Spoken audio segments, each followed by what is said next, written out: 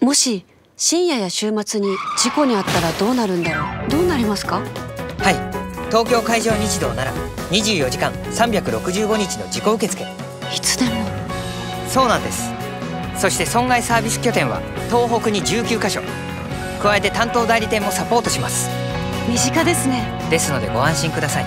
ありがとうございます。信じられる安心を。トータルアシスト自動車保険。東京海上日動。